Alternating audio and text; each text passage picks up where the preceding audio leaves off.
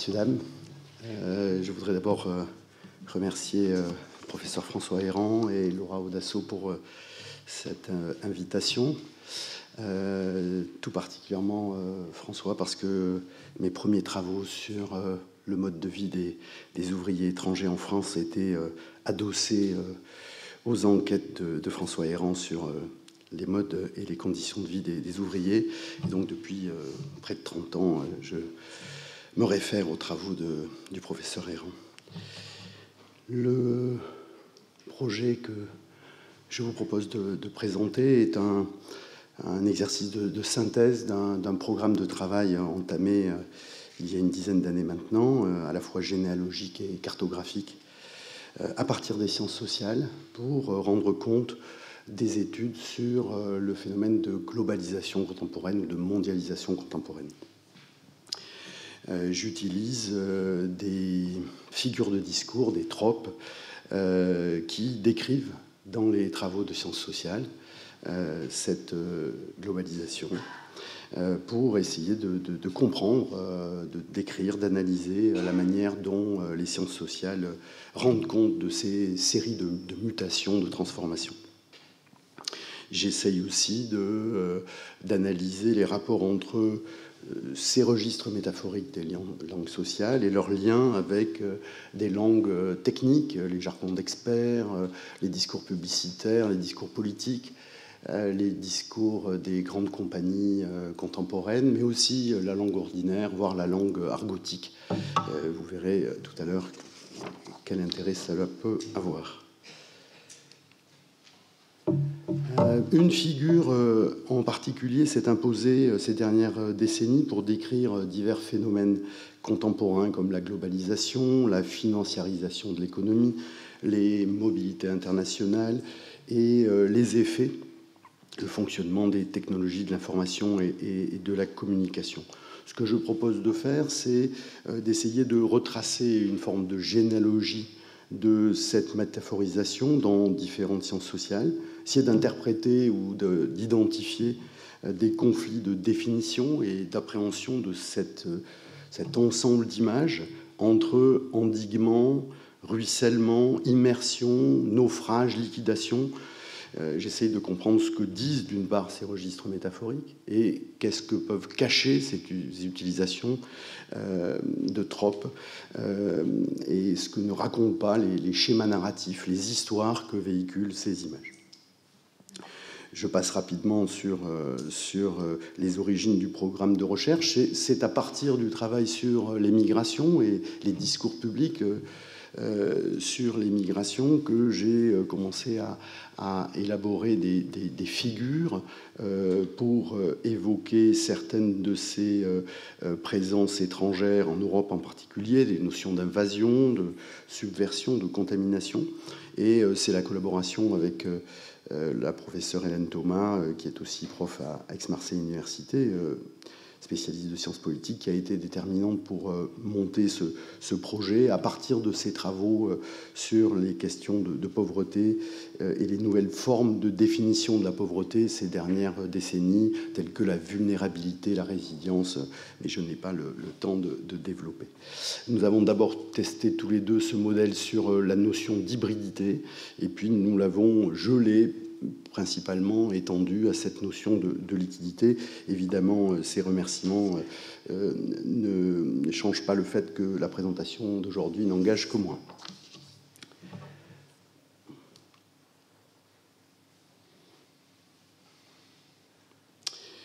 Euh, les phénomènes contemporains, je vous l'ai dit, sont définis par un grand nombre d'intellectuels des sciences sociales comme euh, euh, comme des métaphores. Je, prends l'exemple de John Ury, le, sociologue anglais, avec la notion de mobilité, euh, l'anthropologue indien Omi Baba, avec ce travail sur la notion d'hybridité, et Zygmunt Bauman, l'anglo-polonais décédé il y a quelques années, avec son, son modèle de liquidité. Mais D'autres, Manuel Castells avec son espace des flux, ou David Harvey avec son travail sur le, la spatialisation du capital utilise des formules assez proches. Ces schèmes langagiers prennent depuis les années 60 euh, en particulier. On peut le voir dans des petits logiciels euh, qui euh, comptabilisent l'usage des mots dans un certain nombre de corpus, que ces, termes-là, en particulier, la liquidité, prennent une place croissante dans les discours pour rendre compte des phénomènes de ces sociétés hyper connectées virtuellement, massifiées, où les circulations d'individus, de biens, de ressources et de richesses s'accélèrent très rapidement. L'autre particularité est que ces thèmes-là, euh, ces termes comme l'hybridité ou la liquidité, qui avaient des appréhensions très négatives, euh, ont vu depuis les années 60 leur signification se transformer, évoluer et prendre des connotations beaucoup plus positives ou performatives. Cette méthode de cartographie et de généalogie des, métaphores euh, est recommandée par euh, des théoriciens des sciences sociales et des anthropologues en particulier, je pense à Georges Marcus, à Annette Singh, comme étant un des moyens euh, de euh, dépasser cette, cette, mise en mouvement des sociétés contemporaines pour étudier ces transformations culturelles, politiques, économiques en particulier. L'hypothèse générale, je, n'aurai sans doute pas le temps d'y revenir, c'est qu'un nouveau triptyque euh, composé de la liquidité, de l'hybridité et de la mobilité est entré en concurrence depuis les années 50-60 du XXe siècle avec le grand triangle de la modernité d'Auguste Comte autour de, la notion de temps, de race et de milieu. C'est un peu le projet général de mon travail. Euh, quelques retours rapides sur euh, les métaphores. Euh, qu'est-ce qu'une métaphore? C'est une forme rhétorique classique, usuelle, de transposition des qualités d'un objet pour décrire un autre objet ou un être. C'est un instrument de définition par analogie, j'ai déjà mentionné Fontanier, et c'est un outil à la fois de simplification et de persuasion. C'est en particulier un instrument pédagogique, dit Aristote. Cela permet notamment de rendre compréhensible, intelligible des phénomènes complexes ou intangibles. Quelles sont les fonctions de la métaphore dans les sciences? Elles sont très importantes. Elle fournit des moyens de, conceptualisation. Ce sont, comme dirait Peter Gallison, l'historien des sciences, des machines théoriques qui permettent aux sciences en général et plus spécifiquement aux sciences sociales de faire circuler des paradigmes théoriques d'une discipline à l'autre je renvoie à quelques auteurs, euh, euh, comme euh, Brown, par exemple, avec sa poétique en sociologie, notre collègue philosophe espagnol Liscano, et bien sûr Jean-Claude Passeron et Hélène Thomas, dont j'ai parlé tout à l'heure. La place des, métaphores dans les sciences et dans les sciences sociales est importante. on le sait chez les fondateurs de la sociologie, par exemple, chez Spencer, chez Durkheim, chez Pareto, utilisation massive de tropes biologiques, mécanistes, organicistes, architecturaux, etc., pour euh, décrire les caractéristiques de ce qu'on pourrait appeler la première modernité. Que produit euh, l'usage de ces euh, métaphores dans les sciences sociales? Elles sont d'abord indispensables d'un point de vue heuristique et poétique pour rendre visible ce qui ne l'est pas. pour réduire l'étrangeté, pour modéliser, parce que les sciences ne peuvent construire totalement leur objet, les sciences sociales, euh, comme des objets formels, et parce qu'elles forment leur concept par différence et par similitude. C'est pour cela que les sciences sociales recourent régulièrement à des métaphores. Il y a néanmoins des risques à utiliser ces métaphores, évidemment, parce que ces métaphores peuvent être aussi un obstacle à la compréhension, euh, du fait de leur ambivalence, de l'évolution de leur signification et de l'épuisement possible de leur sens, euh, notamment quand elles deviennent je, fais une rapide référence à, Ricoeur ou à d'autres, quand elles deviennent nécrosées, mortes, quand elles sont nomades ou éponges, comme dirait Bachelard, euh, euh, ce sont ce qu'on appelle des catacrèses, excusez-moi du terme un petit peu technique, c'est-à-dire une forme d'abus de langage qui s'épuise à force d'être répété comme un cliché dans une poésie euh, scolaire. C'est aussi une difficulté, le fait que les les métaphores soient des instruments privilégiés de, des formes de discours de propagande. Euh, qui réduisent, qui répètent, qui déplacent les significations. Et je vous renvoie aux travaux de Jean-Pierre Fay, de Hirschman, de Klemperer, de Jameson ou de Hannah Arendt, évidemment, pour cette, ce risque de l'utilisation des métaphores dans les sciences sociales. L'idée générale, c'est qu'elles sont utilisées par des acteurs dont les capitaux rhétoriques sont inégaux entre les institutions étatiques, euh, les acteurs que je nommerai corporate du monde de l'entreprise euh, privée et ce que l'on pourrait, avec Ulrich Beck, appeler une société civile mondiale. Voici le plan de mon exposé. Dans une première partie, j'essaierai de, traverser avec vous quelques usages de la métaphore de la liquidité et du champ sémantique liquide plus largement dans, dans euh, ces disciplines pour en comprendre leur généalogie et leur utilisation euh, aujourd'hui. Et dans un deuxième temps, de, revenir sur quatre grandes figures qui me semblent euh, émerger dans ces utilisations massives de la formule de la liquidité entre le ruissellement et l'immersion pour des figures relativement heureuses et positives de la liquidité et inversement des figures de l'endiguement et de la liquidation pour des figures plus menaçantes voire catastrophistes de euh, la liquidité. Très rapidement, l'étymologie de liquide, qu'est-ce que le liquide en latin? Liquidus, quelque chose qui coule, qui n'a pas de forme propre, avec deux ou trois acceptions supplémentaires. Euh, l'idée de, la limpidité ou de l'optique, de la clarté qui est importante. Les, juges romains euh, disent liquette quand ils ont fini euh, d'établir leur intime conviction, hein, c'est clair. Euh, et d'autre part l'expression d'une décision, notamment dans l'expression liquidation d'une pension, d'une retraite. Je vais assez vite. On utilise aussi des formes de liquéfaction pour évoquer des émotions très fortes, l'amour, la peur, euh, euh, la colère éventuellement. C'est un moyen d'exprimer des sensations euh, très diverses. Je vous renvoie là encore à Georges Bachelard, à Alain Corbin. Euh, cela génère des, représentations assez ambivalentes, toute une gamme d'oppositions entre la pureté et la souillure, la profondeur et la surface. Je, ne, ne m'étends pas là-dessus. Et chez les chimistes, le liquide est encore aujourd'hui un état incertain entre le solide et le gazeux.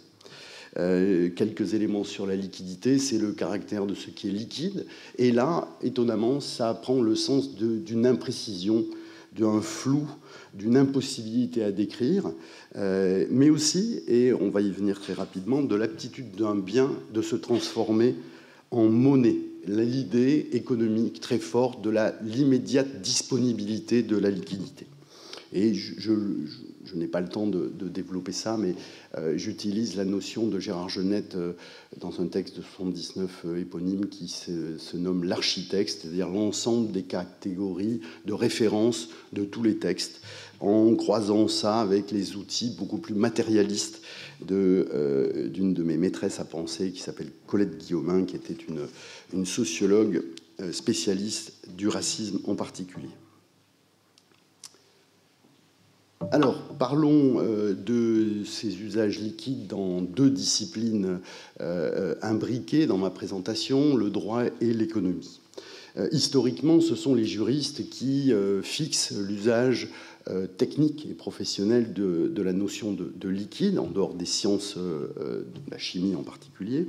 Euh, en utilisant massivement, je l'ai dit, euh, notamment dans le droit civil et commercial, la notion de liquidation comme un processus de clarification d'une situation indivise, incertaine, changeante, conflictuelle. On clarifie, on liquide une pension, par exemple, on calcule précisément euh, euh, ce que euh, le titulaire de la pension pourra toucher. Il y a aussi énormément d'analyses et d'utilisation d'images liquides en théorie du droit, notamment François Host, notre collègue théoricien du droit belge, qui a fait un, texte assez célèbre sur la théorie des sources du droit, qui file la métaphore pour essayer de comprendre qu'est-ce qu'il y a derrière cette représentation des sources du droit. Michel Tropper, le philosophe aussi.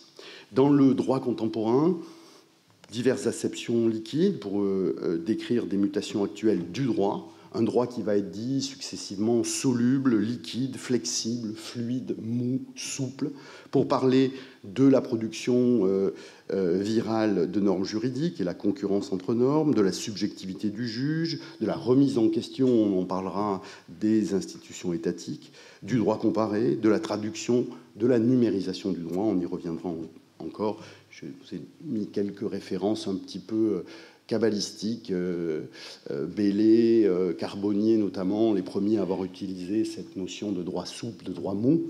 Et puis Antoine Garapon, le juriste qui a fait un texte il y a quelques années qui s'appelle L'imaginaire pirate de la globalisation, où il, essaye de, voir qu'est-ce que le droit pourrait faire pour lutter justement contre le caractère pirate de la globalisation contemporaine. Passons maintenant à la dimension économique. Euh, très rapidement. Euh, l'imaginaire contemporain du capitalisme est structuré autour des notions de flux, de fluidification, d'écoulement, de circulation, avec ces idées très fortes de disponibilité, d'immédiateté, pardon, de liberté.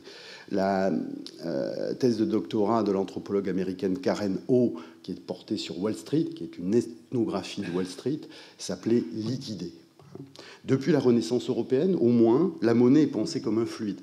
Scipion de Gramont euh, ou Thomas Hobbes associent la monnaie au sang, William Petty à l'huile et John Locke, parmi beaucoup, euh, à l'eau. C'est l'idée que la monnaie travaille euh, avec des, effets comparables à ceux du sang, de l'huile ou de l'eau.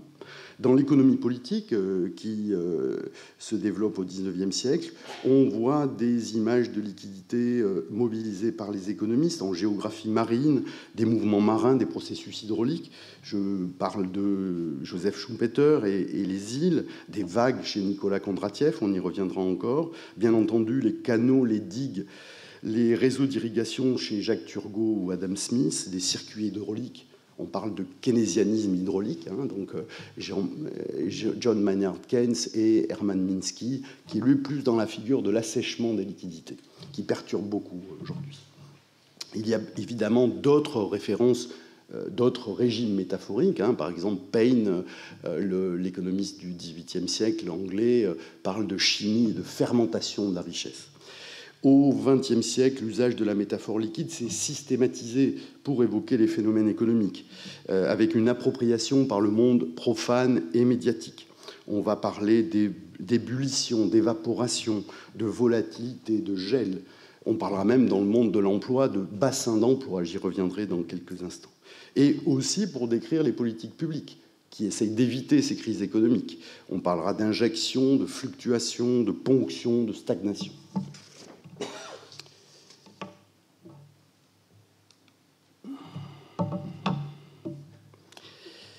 La liquidité, des échanges s'est euh, imposée dans l'ensemble de ces représentations de la vie économique. Ça produit une forme de naturalisation du discours économique euh, qui parle de la croissance ou de, la marche du commerce et du marché économique comme une force naturelle euh, incontrôlable qui s'impose par elle-même. Hein on va utiliser euh, euh, des euh, métaphores liquides chez les libéraux, chez les libertariens aussi beaucoup, les libertariens américains, pour refuser tout ce qui est régulation sociale ou étatique de l'action économique. Et puis, c'est renforcé par une rencontre entre deux mouvements, la financiarisation de l'économie, fin des années 60, début des années 70 du XXe siècle, et la numérisation de ces finances et du fonctionnement des banques qui toutes les deux utilisent des syntagmes, des tropes, des images liquides. Cette culture euh, de la circulation frénétique est parfois euh, euh, accusée au contraire, non pas de clarifier, de faciliter, mais au contraire de d'autonomiser la valeur par rapport à la production et d'être responsable de la grande volatilité des transactions, des marchés. Et le collègue historien de l'économie au cœur rappelle souvent que ces zones que sont les bourses, qui sont censées être les endroits les mieux informés du, du, monde, sont les plus irrationnels aussi dans les décisions. Et cette irrationalité est renforcée par l'usage de l'intelligence artificielle. On parle à ce moment-là de bulles, hein, phénomène physique propre à la liquidité.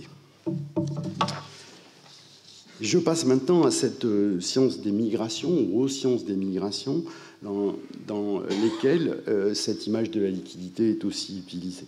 On pourrait parler d'une sorte de pensée liquide de l'État, euh, qui considère qu'il faut canaliser les mobilités que l'on envisage en termes hydrologiques ou hydrauliques. On a d'abord pensé la, foule, le peuple, comme une masse aveugle euh, qu'il fallait canaliser. Et on a progressivement, avec Frédéric Ratzel, le géographe allemand, et Élisée Reclus, le géographe français, euh, établi un mouvement entre l'hydrologie et le déplacement des populations migratoires. En France, le glissement de l'hydrologie à l'hydraulique se fait euh, au début du XXe siècle, notamment dans les milieux patronaux et en, relation avec euh, les agences publiques, euh, notamment la Société générale de l'immigration. et cela va permettre la mobilisation d'un certain nombre de, formules assez réduites. la formule des vases communicants, des canaux, la notion de pression, l'usage d'un certain nombre de formules, de vagues aussi. Euh, qui euh, justifie euh, des réponses étatiques sous la forme du barrage, de la digue, de l'écluse, par exemple. C'est devenu manifestement une référence banalisée, peut-être une catacrèse de, de la langue pour parler des migrations, notamment quand on l'associe à un risque, une menace euh, de submersion par des vagues migratoires, de dissolution par la fécondité exogène, euh, qui nécessite un endiguement étanche à minima.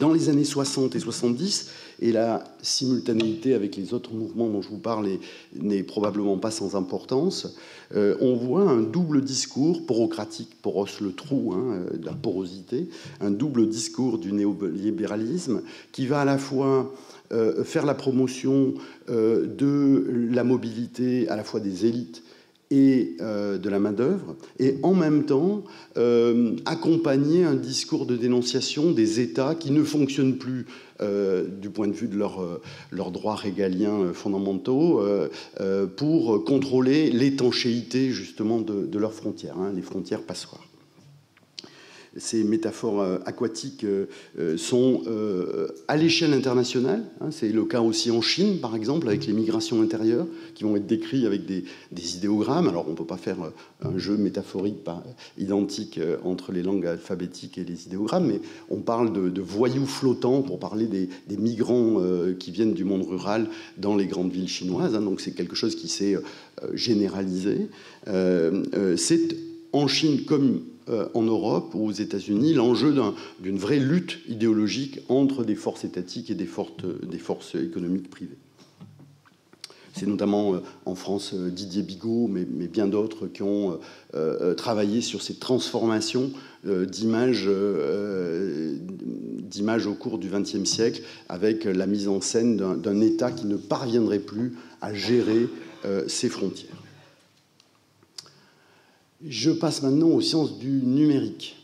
Euh, différentes occurrences établissent euh, une analogie entre le numérique et le liquide dans la langue technique, je vais y revenir, dans les imaginaires et les cadres cognitifs euh, des concepteurs et des gestionnaires des grands réseaux Internet, à la fois comme un, fluide à dominer, comme un élément aquatique à imiter ou dans lequel s'immerger, mais aussi comme la substance du pouvoir. Et cette euh, image liquide occupe une place euh, spécifique chez les bidouilleurs du premier Internet, chez les ingénieurs euh, des boîtes de télécom qui ont travaillé aussi à des réseaux spécifiques, et au Pentagone, hein, dans, le, monde de l'ARPANET, on a les mêmes images de contrôle de flux et de canaux. Plus précisément, on retrouve ces lexiques aquatiques, marins, hydrauliques, halieutiques, j'en passe, euh, dans euh, le vocabulaire de base euh, de l'Internet et du numérique. Surfer, naviguer, débit, encre, crochet, j'en passe, le temps m'est compté. Dans le naming aussi des entreprises du secteur digital, Amazon ne s'appelle pas Amazon pour rien, et Pirate Bay ou eBay ou YouTube, de la même manière, n'ont pas ces, ces, références dans leur nom pour aucune raison. On trouve ça aussi dans les principes de fonctionnement de l'économie numérique, notamment dans des syntagmes tels que Flix, Soft, Vista, avec des acceptions de flexibilité, de malléabilité, de clarté. Et on trouve ça dans les dispositifs qui se sont imposés dans notre vie quotidienne, l'outsourcing, le cloud computing euh, et le collaborative filtering. Et je fais une petite blague pour euh, mes amis universitaires, puisque y compris... Euh, y compris dans le monde universitaire. On utilise des applications au nom en lien avec le liquide, puisque nous avons des applications qui s'appellent Santorin, Cyclade, Sirène, Océan, qui sont nos logiciels de ressources humaines. Pardonnez-moi pour cette petite pique. je voulais finir avec une, une image très rapide, et puis une fois qu'on ne parle pas du Covid, je regrette de l'avoir mentionné, euh, euh, un petit cas pratique autour du Covid, il, n'a pas dû vous échapper que euh, très tôt dans cette pandémie, l'on avait parlé de vagues épidémiques et de la première, et puis de la deuxième, nous, sommes censés en être à la cinquième, et je me suis interrogé sur les sources de cette métaphore.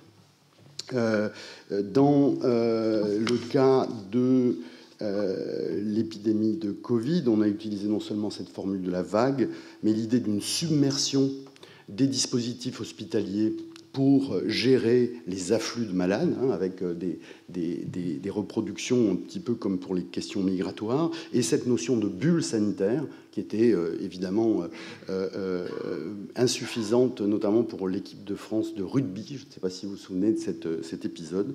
On a beaucoup parlé de bulle sanitaire, et on a utilisé aussi beaucoup de métaphores liquides en termes de navigation et de gestion hydraulique euh, par rapport euh, à la navigation, ce qui est un classique. Euh, François Héram l'avait fait remarquer il y a quelques semaines, pour décrire l'action politique. Hein, on va beaucoup utiliser de formules liées à la direction d'un bateau, au capitaine, hein, à tenir le cap ou naviguer, naviguer à vue, ou des formules hydrauliques et chimiques aussi, chimiques en particulier avec les notions de jauge, de brassage, de d'étiage, notamment pour tout ce qui était euh, regroupement collectif.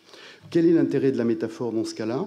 C'est un intérêt pédagogique, euh, typiquement euh, un des usages de la métaphore, qui permet aussi le, feuilletonnage médiatique. Hein, la, crue de l'épidémie monte et forcément, s'il y a crue, il faut attendre une décrue il y a une première vague et donc on peut s'attendre à une deuxième et une troisième, etc. Et c'est vrai pour le nombre de cas, mais aussi pour le nombre de morts, pour le nombre de masques, pour le nombre de tests, pour le nombre de vaccins. Et cette formule de la vague ou de l'étiage peut fonctionner euh, de manière répétée, euh, avec une force à la fois pédagogique, mais aussi une force d'alerte. Parce que là, la métaphore sert euh, à euh, entériner, à accréditer l'idée d'une catastrophe à venir, et donc qui permet la mobilisation euh, générale. Avec la forte dimension spectaculaire, vous vous souvenez peut-être de, cette formule qui m'avait euh, alerté de la ministre de la Santé lors de son allocution de démission en mars 2020. Je pleurais parce que je savais que la vague du tsunami était devant nous. Hein, c'était la formule utilisée à l'époque. Donc ces quatre, images que je vous propose pour finir de feuilleter euh, quatre images concurrentes avec toutes les difficultés propres à la métaphore, je l'ai dit, cette forme d'ambivalence, d'évolution très rapide des sens et de capacité très forte à faire image, et donc quelquefois à faciliter la compréhension, mais quelquefois à brouiller aussi euh, la possibilité d'une interprétation juste.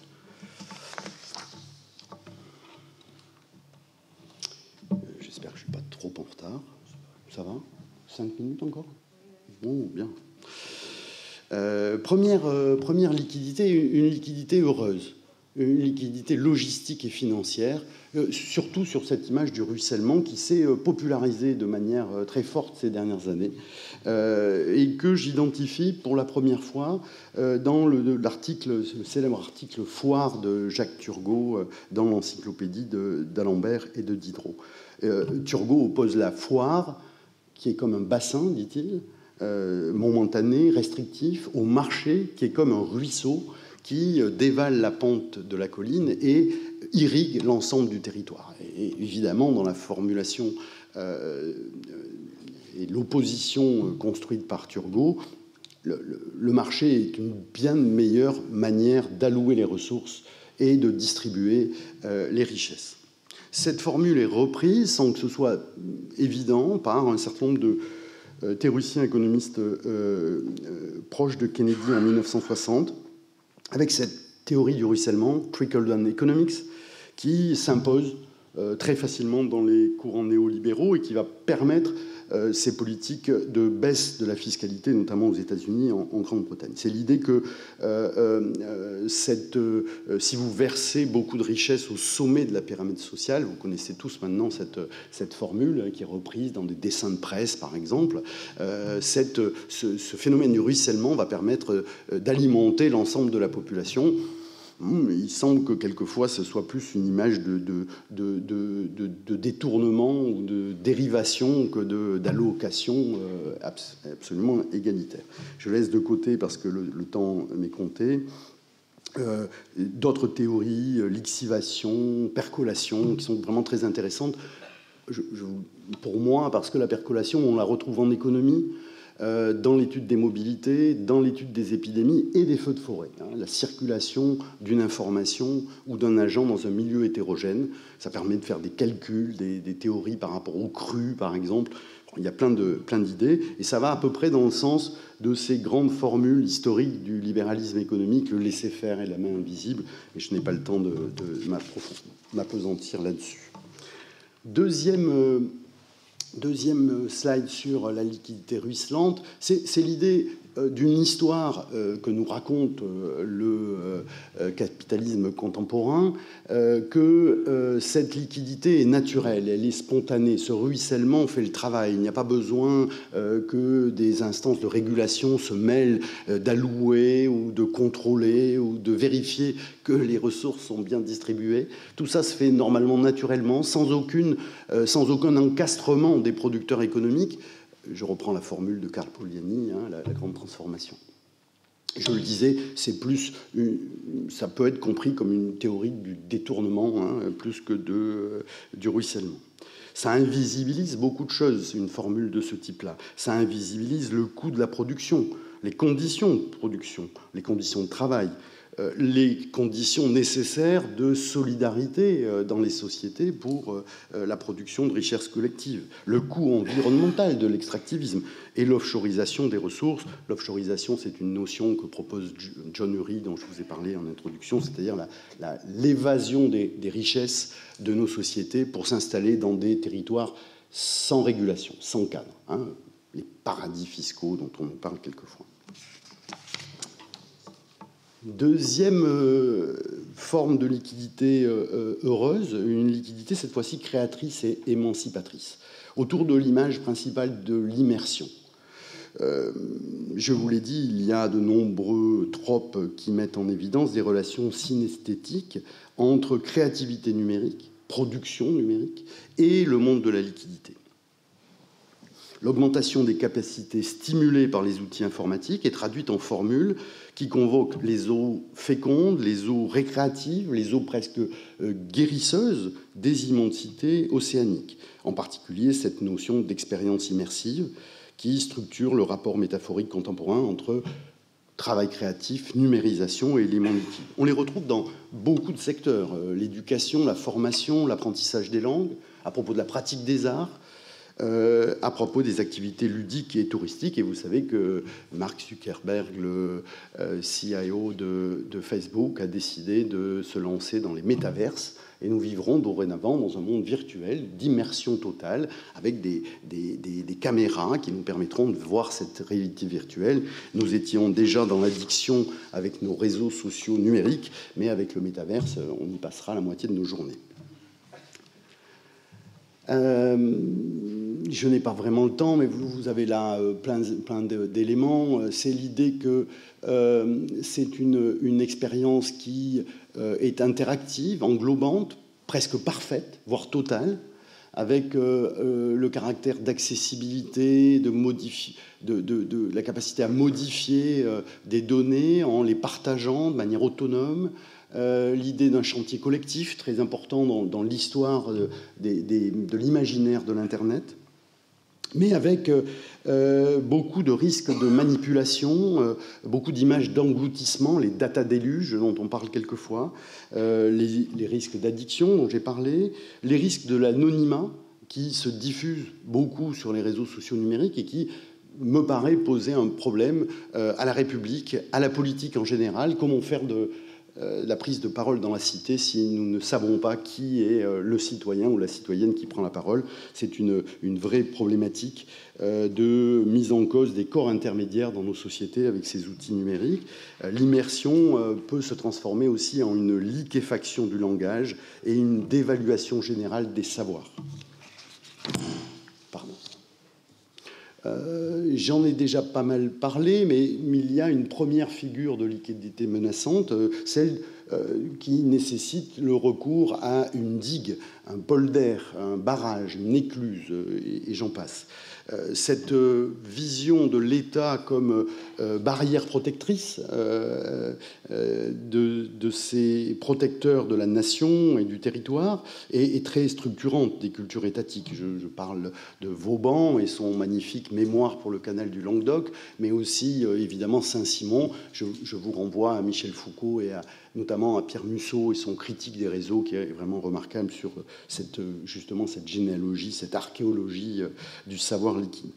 C'est très important dans la maîtrise du pouvoir, le, registre de la maîtrise de l'eau, la, question de la navigation aussi. Et je propose un concept, mais je n'ai pas le temps d'en parler, autour de, de, la thalassographie, thalassocratie de Wittfogel et de l'hydrarchie de, l'historien américain euh, Marcus Rediker, euh, en essayant d'essayer de, comprendre qu'est-ce qui se joue dans la rencontre euh, de ces différentes cultures de gestion de la liquidité, mais je répondrai éventuellement à, quelques questions.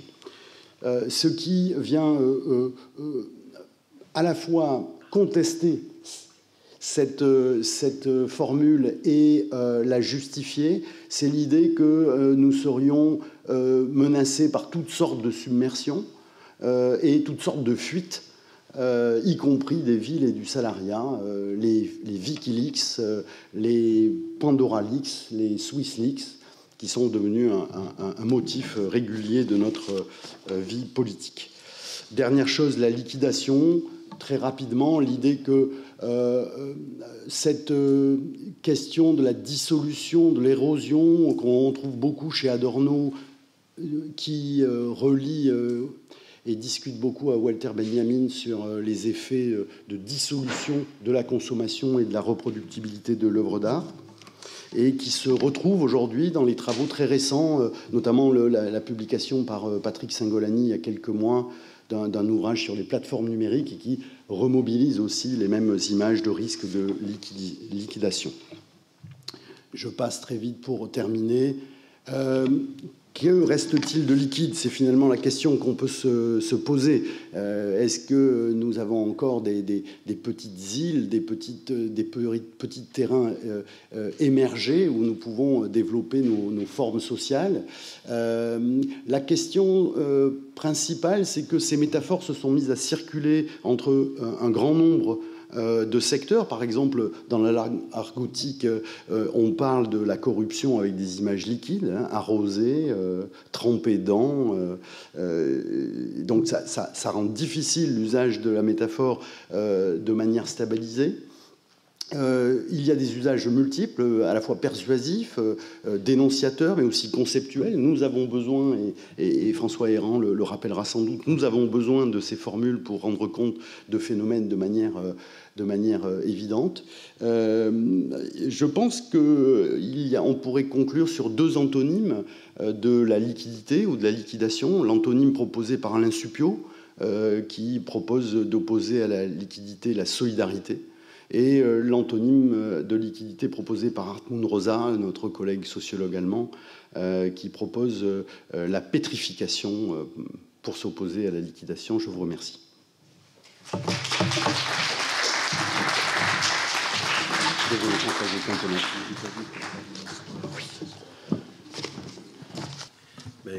Donc deux exposés assez, assez différents, je vous, l'avais annoncé. nous sommes J'espère que vous n'êtes pas noyé dans cet océan de, métaphores. Alors j'avais une première question à vous poser.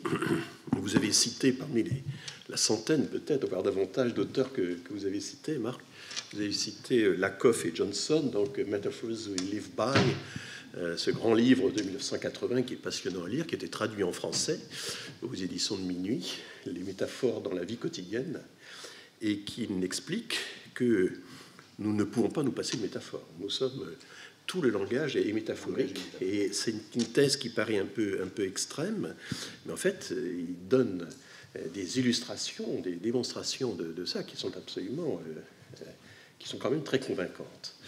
Euh, la métaphore du haut et du bas, par exemple, qui est très envahissante et structure beaucoup de nos, notre vision des choses.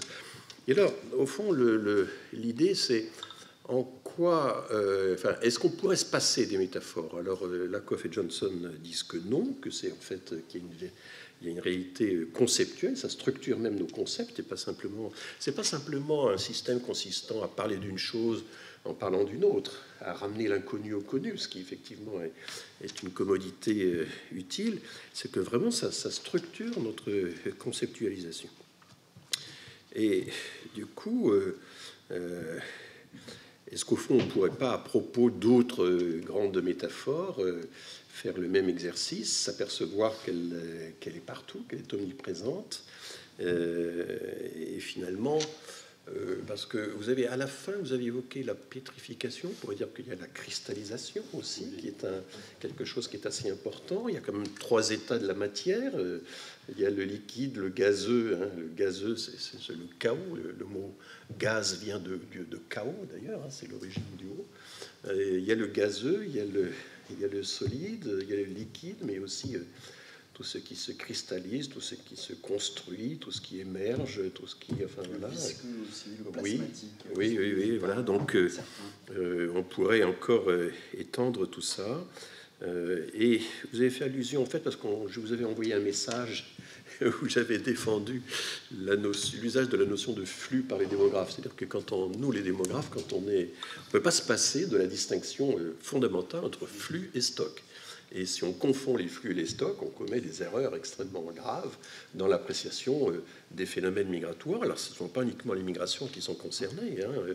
Les naissances, euh, les décès sont des flux par rapport à un stock qui est l'ensemble de la population recensée à un moment donné. Et tout euh, débutant en démographie, je dirais dès le premier cours de la première année, euh, apprend la distinction entre flux et stock. Et surtout, on, lui apprend à lui dire, mais quand vous voyez une, une, une, information démographique dans la, presse, dans les médias, demandez-vous si c'est un flux ou un stock parce que c'est vraiment une notion fondamentale. Et là, et donc je vais terminer ma question, là on, a le, le problème qui est évacué par euh, Lakoff et Johnson, et que vous avez évoqué, la catacrèse, c'est-à-dire ces, ces, métaphores qui se, qui se cristallisent, qui se lexicalisent, comme disent les linguistes, et on ne fait même plus attention au fait que ce sont des métaphores. Je vais prendre un exemple. Quand on dit les États membres de l'Union européenne, mon membre est une métaphore organiciste. Enfin, on n'est pas en train de penser à un corps humain avec ses membres, etc., chaque fois qu'on dit un État membre de l'Union européenne. Euh, même quand on parle des ailes d'un avion, on n'est plus vraiment dans la métaphore de, de, l'oiseau. Enfin, même si avion veut dire gros oiseau. Enfin bon, donc on est, euh, il y, a, il y une. Euh, j'avais écrit autrefois des choses sur la démotivation. Il y a une capacité de toutes ces métaphores à se démotiver, à s'inscrire dans la langue, à, rompre les liens avec l'origine, même si on peut à tout moment raviver la métaphore. Mais l'idée que qui dans le Lakoff et Johnson, que, qui est un peu votre idée aussi, que la métaphore est toujours vive.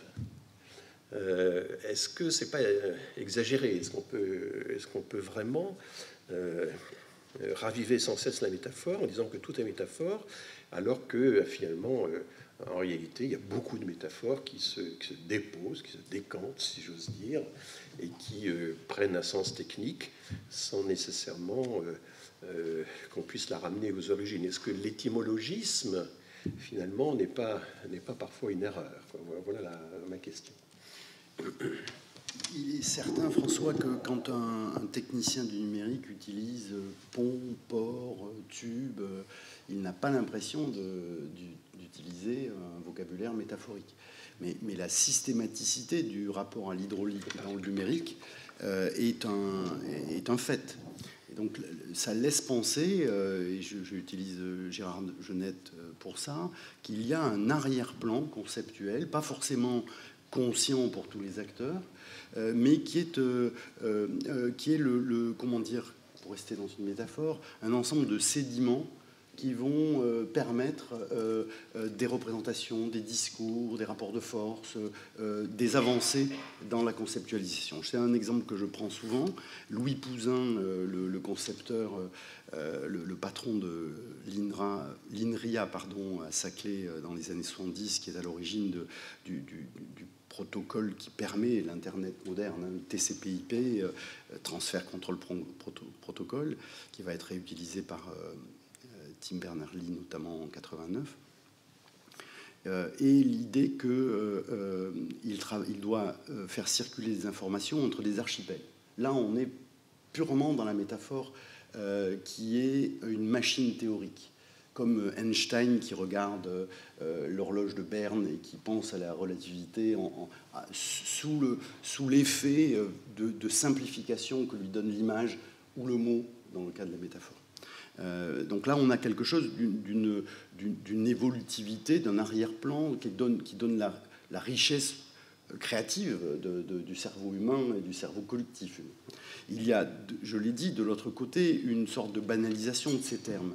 Euh, quand un, liquidateur est nommé par un tribunal de commerce, euh, il n'a pas l'impression d'aller pêcher les écrevisses, mais le code du commerce dit le liquidateur met en écoulement accéléré les marchandises. C'est le code qui le dit. Qu'est-ce que c'est le mise en écoulement accéléré C'est-à-dire la facilité de le vendre à vil prix pour reconstituer les actifs, pour pouvoir rembourser du passif. Je suis d'accord avec, tout ça, mais euh, ce que peut-être on, aimerait avoir dans, dans la présentation des très très nombreux exemples que vous avez, des, nombreux domaines, euh, mettre tout ça sur un, sur un plan sur un plan à, deux axes au moins, enfin, où il y aurait du plus et du moins, il y aurait du plus ou moins motivé, du plus ou moins démotivé, il y aurait euh, de la métaphore plus ou moins consciente, plus ou moins inconsciente, il y aurait, enfin, vous voyez, alors que là, évidemment, vous avez tout mis sur le même plan d'une certaine manière, et au fond, on se dit que au cours de l'histoire, au cours de, euh, voilà, il y, a des métaphores qui sont arrivées. Je, trouve qu'il y a une espèce de, je vais utiliser un mot un peu bizarre, du, du chourakisme. Chourakis, André Chourakis, c'était l'ancien maire de Jérusalem qui avait fait une traduction de la Bible tout à fait extraordinaire où il a voulu raviver toutes les métaphores quand on dit bonjour, euh, il y a une métaphore, on souhaite une bonne journée, puis dans le jour, il y a Diurnus, et puis il y a, il y a, Zeus, enfin et il a, fait une traduction extraordinairement poétique de la Bible, à peu près illisible, mais qui, où chaque, enfin qui devient formidablement poétique, parce que toutes les métaphores sont vives, y compris, y compris les formules de, salutation les plus ordinaires. Hein. Euh, euh, et je trouve que votre formidable inventaire, vraiment absolument passionnant. Je pense que vous êtes le premier à le faire avec un tel degré, avec une telle précision, avec une telle exhaustivité, euh, euh, gagnerait peut-être à, être effectivement gradué, en quelque sorte, dans plusieurs directions. Euh, et au fond, vous pourriez ainsi faire une histoire de la métaphore qui, dépendrait aussi de ces, graduations. Le, format de, de, l'intervention ne, me permettait pas d'aller plus loin dans mon inventaire à l'après-vert je pense que c'est mieux pour vous. Euh, ce que, ce que j'ai dit au début, je ne suis pas vraiment revenu dessus, c'est que euh, la plupart de Michel Foucault, Pierre Musso, dont j'ai parlé tout à l'heure, euh, identifient très bien ce, triangle conceptuel fondateur de la modernité proposé par Auguste Comte, temps, milieu, race qui, structure une sorte de première modernité solide, étatique, de construction des individus, de définition des espaces, de, hiérarchie aussi, hein, de, contrôle, de maîtrise euh, du temps, etc.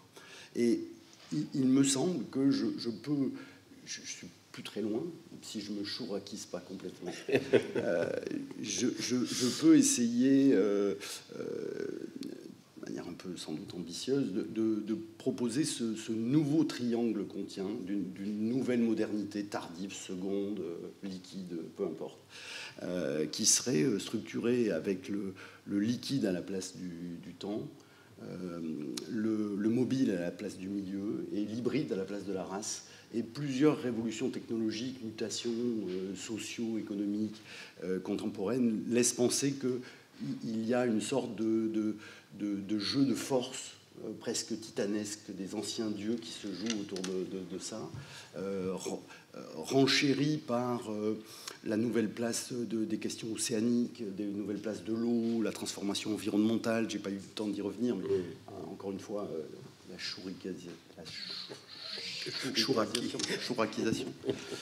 voilà, enfin, j'aime bien votre expression de jeu de force. Hein, je crois que c'est vraiment ce qui est... Alors, je me tourne vers Chloé Gaborio, qui, doit se demander ce qu'elle fabrique ici, mais elle a utilisé une métaphore qui est quand même euh, très forte. C'est l'enracinement. Vous avez parlé de l'enracinement, quand même, qui était une, forte métaphore avec une charge politique qui a été considérable à travers l'histoire. Et euh, donc, euh, voilà, qu'est-ce que ça vous évoque, euh, la métaphore de l'enracinement Et est-ce que vous pourriez commenter davantage là-dessus? Je pense effectivement qu'il est, important, comme vous le disiez, de, distinguer entre des, métaphores très figées et des métaphores qui, ne le sont pas et qui sont du coup perçues comme des tropes, c'est-à-dire vraiment une torsion du langage qui, est, qui, est, perçue comme telle par les différents acteurs. Et donc l'enracinement euh, est une métaphore euh, qui, à mon avis, est perceptible comme telle par euh, les différents acteurs du débat. Et elle est effectivement remotivée régulièrement par Racine. Elle est filée en fait régulièrement. Et, ce qui est intéressant, pour revenir à ce que vous disiez sur les ruraux, sur l'injure de rural tout à l'heure, auquel j'ai, je crois à peu près au même moment de la parution du, livre de Boucher consacré à un article. Ce qui est intéressant avec rural, c'est qu'on n'est plus dans la métaphore, on est dans la métonymie. Et, quand, on, dit d'un député qu'il est rural parce qu'il est élu par des ruraux, on va bien désigner en fait, euh, euh, on, utilise en fait le, tout pour la partie, en fait, ça dépend dans, quel sens vous pensez la représentation. Euh, donc on utilise le nom des représentés pour parler des représentants. Donc on est bien dans une forme métonymique elle n'est pas du tout figée, elle est tout de suite perçue comme une torsion. D'ailleurs, les, députés sont scandalisés euh, d'être traités comme, des ruraux. Et ce qui est intéressant de voir dans, quelque chose qui relève donc du trope, de la torsion, euh, et de cette euh, métonymie, c'est ce qu'elle peut signifier en fait. Que signifie en fait quand on est un représentant d'être traité entre guillemets du nom de ses représentés L'injure vient des républicains, mais elle n'est pas très républicaine. En tout cas, elle n'est pas démocrate. Parce que ça devrait être au contraire euh, un honneur dans un cadre démocratique de prendre le nom de, ces représentés. Et euh, je pense que c'est ces moments qui sont très importants dans le discours politique. Ils sont importants parce qu'ensuite, ils autorisent ou non des formes d'amalgame. Et il me semble qu'effectivement, entre une métaphore ou une euh, métonymie qui, est, qui se fige et qu'on perçoit plus comme telle, et une métaphore et une métonymie dont on sent la torsion pour le moment, mais on ne sait pas exactement où elle va aller, on a cette différence que celle qui, est encore, euh, qui relève encore du trope, elle peut nous amener à des amalgames, un peu à nos dépens, un peu, forcément de façon un peu euh, inconsciente, euh, et ouvrir à de nouveaux champs de réflexion. J'y pense particulièrement parce qu'il y en a une autre qui m'a frappée, qui ressemble beaucoup à celle de Rural. C'est quand il y a, il me semble que c'était dans les années 80, ce, ce slogan assez connu, nous sommes tous des immigrés de la troisième génération. Ça m'avait frappé parce que je ne vois pas bien ce que veut dire immigré de la troisième génération, si ce n'est des Français qui ont des origines immigrées. Donc il y a une forme de, métonymie aussi, c'est-à-dire que celui qui n'est absolument pas un immigré, puisqu'il est né sur le sol français, est désigné quand même par ce terme parce que euh, son arrière-grand-père, son grand-père euh, était lui immigré. Là, il y a une forme euh, donc une torsion qui est, nette, qu'on perçoit peu puisque l'injure est relevée, un peu comme dans Rural. Hein. on relève l'injure et puis ce sont effectivement les enfants des immigrés de la troisième génération qui vont assumer et revendiquer euh, ce terme. Mais en même temps, l'amalgame est ouvert, c'est-à-dire tous ceux qui, euh, sur le sol français, auraient des origines immigrés peuvent être appelés à ce moment-là immigrés. Et vous voyez, c'est ce genre de, mécanismes, à mon avis, qui sont très importants à repérer dans le débat. Et donc, il est important de distinguer entre, bon, bah, quand on dit gouvernement, c'est gouvernail, mais enfin, plus personne ne fait le rapprochement, même si on peut remotiver avec le capitaine de pédalo la métaphore. Mais en revanche, quand on dit immigré de la troisième génération ou rural, on, le perçoit. Et ça ouvre un certain type d'amalgame, positif ou négatif, et ça nous prépare en fait cognitivement à admettre euh, une nouvelle réalité politique. Oui, alors rural avait été retourné par les, je ne sais plus quel député rural, entre guillemets, qui avait dit d'un opprobre faisant un drapeau. Pour l'idée qu'il fallait retourner le stigmate. Pierre a été appelé rural premier. C'est ça. C'était le premier des ruraux. Euh, non, sur l'immigré de la, troisième génération, alors c'est vrai que l'expression n'est pas née du, monde de la recherche, hein, c'est une expression qui a été très, très journalistique ou militante. Les chercheurs, tout de suite, euh, ont dit euh, non, il n'y a pas d'immigrés de la seconde génération, troisième génération. Il y a des, enfants nés de parents immigrés ou issus d'au moins un grand-parent immigré. C'est ça qui. donc, les chercheurs ne disent jamais immigrer la seconde génération. Hein. C'est une formule qu'on apprend, là encore, à nos étudiants à, bannir de leur, de leur vocabulaire pour être, pour être précis. Euh, voilà, mais euh, j'ai. Euh, est-ce que vous pourriez. alors, il y a la, métaphore de l'enseignement. vous, vous, êtes arrêté à quelle époque dans vos recherches alors pour ce, pour ce travail, je, commence en 1848 et je termine dans les années 1880, c'est-à-dire au moment où euh, les républicains sont réconciliés avec le suffrage universel, ou plutôt l'inverse. Oui.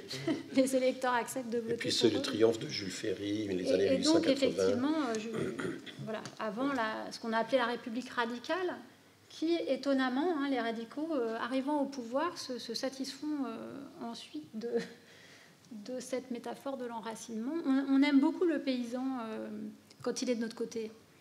Oui, euh, mais l'électeur majoritaire euh, aussi, c'est-à-dire que... Oui, puis il y a de tout le, mélinisme. Il y avait, je me souviens que, oui, aux alentours de la guerre de 14, il y avait la moitié de la population était formée d'agriculteurs, alors on disait que la France était équilibrée. Hein, c'était je crois que c'est 1930 le, oui, le, moment où, le moment où alors, tout dépend si on prend les, les, ruraux ou les agriculteurs enfin bon comme euh, mais il y avait l'idée que quand il y a moitié de ruraux moitié de, oui bah, finalement la France est équilibrée évidemment aujourd'hui hein, on est très loin puisqu'on n'a même pas 3% d'agriculteurs dans la population active quelque chose comme ça. Et euh, bon on n'a pas enfin, ce que le monde est déséquilibré pour autant c'est toute la euh, toute la toute la question mais euh, ce qui m'intéressait, c'est tout ce que vous disiez aussi sur Jules Ferry, qui est un personnage décidément très plastique. Euh, vous le montrez bien. Moi, je l'avais vu dans le domaine euh, colonial, puisque évidemment, il est maintenant connu et je, dirais blâmé pour sa fameuse formule sur le devoir des civilisations supérieures d'aller coloniser les civilisations inférieures, la fameuse réponse de Clémenceau deux jours plus tard. Et puis en même temps, euh, Ferry, euh, peu de temps avant sa mort, c'est aussi l'homme qui fait cette grande mission en Algérie, qui va durer des mois et des mois, entouré d'une cinquantaine de collaborateurs. C'est un effort euh, d'analyse tout à fait extraordinaire. Et il explore tout ce qui se passe en Algérie. Et il dénonce le fait que pour les colons d'Algérie, l'arabe est corvéable à merci. Et en fait, il, il revient complètement sur ses, positions colonialistes d'autrefois. Il était déjà revenu en, en partie en préconisant le, système du protectorat en Tunisie au lieu d'une véritable colonie. Donc il avait déjà l'idée que le système colonial était... Euh. Et ça, montre aussi, parce que moi, quand j'avais, j'ai cité Jules Ferry, la lettre sur... Euh, euh, la lettre aux instituteurs, etc. Et j'ai eu droit à des attaques, disant mais quel scandale, vous citez Jules Ferry, le, colonisateur, l'homme, le, raciste, etc. Et je suis frappé là aussi de voir que les usages qu'on fait de l'histoire, la façon dont on simplifie des trajectoires, dont on héroïse certaines trajectoires, dont on de, voilà, ben vous prenez la contrepartie qui est Clémenceau. Clémenceau, c'est l'homme qui découpe sur une carte sans aucun, sans aucun scrupule tout le, le, Proche-Orient euh, ottoman, enfin, qui un peu à la source quand même de pas mal de problèmes qu'on a actuellement en Syrie ou Liban. Tu vois, puis il découpe ça comme ça avec le George sans aucun problème. Le grand homme de, de opposé la colonisation. Enfin, donc on a comme ça des images extraordinairement simplificatrices sur de grands personnages qui sont venus des héros. Je ne sais pas si finalement on fera le monument à Jules Ferry qui est prévu hein, dans euh, le, jardin des Tuileries. Il est prévu dans le jardin du à peu près tout près de l'emplacement de la Grande Roue. Euh, actuellement. c'est une autre métaphore. Voilà. Mais euh, c'est une. là aussi, je suis fasciné de voir à quel point nous, enfin, nous racontons une histoire de France pour les enfants. Quoi on est, complètement, euh, on a une vision puérile de l'histoire. Enfin, évidemment, on ne peut pas ne pas penser à Zemmour et à sa version complètement simplificatrice de, l'histoire. Il, invente une histoire, un passé qui n'a jamais existé. Enfin, c'est vraiment très, très frappant. Mais peut-être que nous sommes en train de dériver là. Avec les continents. Bon, bah, écoutez, est-ce qu'il y a des, des questions du public?